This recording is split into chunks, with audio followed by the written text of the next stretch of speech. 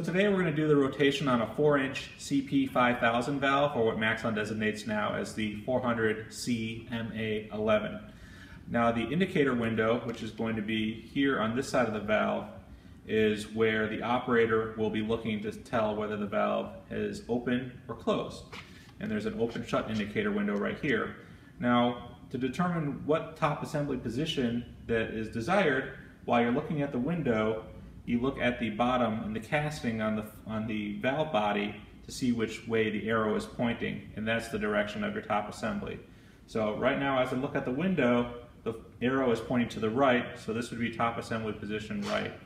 It's available in four different positions, right, left, away, and toward. And today we're going to do a 180 degree rotation to get this top assembly in position left. It's ideal to do the top assembly rotation on a bench unit like this in, in a vice grip. Uh, you can do it installed into the pipe, but as you can see, the top assembly of the Maxon valve is a lot deeper. Uh, so when you swing the valve around to the top, uh, to the correct top assembly position, you want to make sure you're giving yourself adequate clearance. Uh, you also want to make sure that you unhook any kind of electrical connections that you may have going through. Uh, this valve is a stock valve, so we haven't hooked that up yet, so we're free and clear there. But of course, you want to make sure that you have power off to the valve and that you unhook any of the uh, wiring going to the valve. Now the first step in the top assembly rotation procedure is to loosen these two bolts that we have underneath. Now these bolts um, are, uh, they depending upon the size of the valve, take a different Allen wrench to loosen them up. On this one, we're using a 5 16ths. And the key here is that you want to, this, this screw holds the top assembly to the valve body. Uh, you want to only just back this out to about a quarter of an inch just to break that separation. Now I've loosened the bolts from the bottom of the valve body that connected to the top assembly.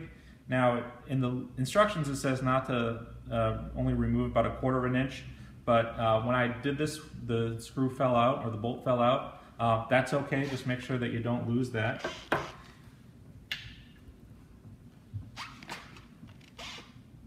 And I'm just going to take the other one out here just to make sure that I don't have any clearance issues when I rotate this valve body. So now I am holding this valve body on, and it's incredibly important that you continue to hold the valve body on and make sure that the top assembly and the uh, valve body are in connection with each other and you don't lift up too high. If you lift up too high on the top assembly, it could disengage some internal components that would not be repairable, repairable in the field. So now that we have this loose, I'm able to start the rotation procedure. So keeping the valve, the top assembly and the valve body in connection or connected to each other, I'm just going to slowly turn the top assembly. Again, making sure that I keep contact between the valve body and the top assembly. And we're going to go a full 180 degrees on this one.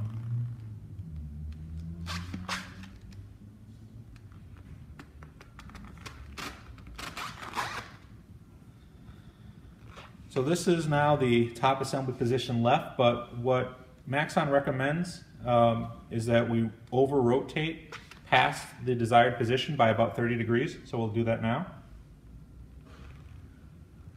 And then we'll come back to the desired position. Now it may seem like an odd step, but it's very important in that this takes some of the torque off the return spring inside the top assembly.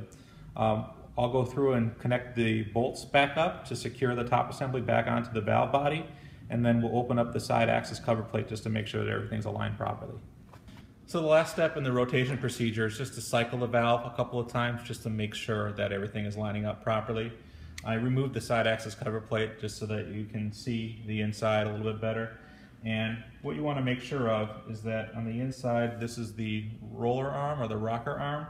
It's got a little wheel at the end of it, and that wheel sits on top of the pedestal. You want to make sure that that wheel is sitting at the center of the pedestal and that'll confirm that the valve is aligned properly. If it seems like it's out of whack and if it's off skew a little bit, it could be that there's some additional torque on this return spring. What you have to do is get in there with uh, needle nose pliers and just manually give it a little turn uh, to make sure that lines up properly. We'll go through and cycle the valve now and see how it looks. If you plan on rotating one of these valves, I highly recommend that you read through the instructions that are going to be detailed in the comments below. Uh, read through those very carefully, just making sure that number one, you're keeping the power off of the valve while you do the rotation. Number two, you do not lift up on the top assembly more than a quarter of inch. And number three, rotating the valve 30 degrees past the desired position before securing it back in place. Uh, if you have any questions, you can reach out to me or reach out to your local Maxon representative if you're outside of the Lesman territory. And thanks for watching.